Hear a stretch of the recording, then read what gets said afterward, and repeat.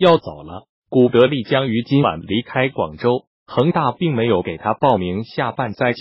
北京时间七月二十三日，广州恒大淘宝对外援古德利将于今晚飞离广州。在此前的夏季间歇期中，他被球队取消报名。据报道，恒大外援古德利将在今晚乘坐 CZ 三零七次航班飞离广州，而他的下一站仍是未知。在球队接连购入保利尼奥以及塔利斯卡后，恒大在夏窗报名中撤下了古德利与金英权。古德利在今年一月从天津泰达转会加盟广州恒大淘宝足球俱乐部。现年二十六岁的塞尔维亚后腰，本赛季为恒大出战了十一场联赛，共计奉献两粒进球与一次助攻。此前，他也曾效力于阿尔克马尔、阿贾克斯。